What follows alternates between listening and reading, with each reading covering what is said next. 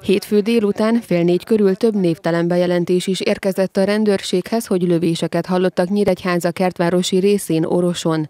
A Diák utcán történt kettős gyilkosság. Nem hivatalos információk szerint apát és fiát ölték meg. Szintén nem hivatalos információk szerint szerelemféltésből.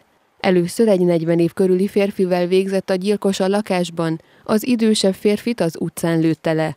Az elkövetőt a rendőrök Nyíregyháza város szélén a utcán fogták el, előzetes információk szerint egy vadászfegyverrel végzett áldozataival. A rendőrség ügyeletére arról érkezett bejelentés, hogy Nyíregyházan az Orosi Városlész lakójövezetében egy férfi több személyre rálőtt, akik ennek következtében életüket vesztették.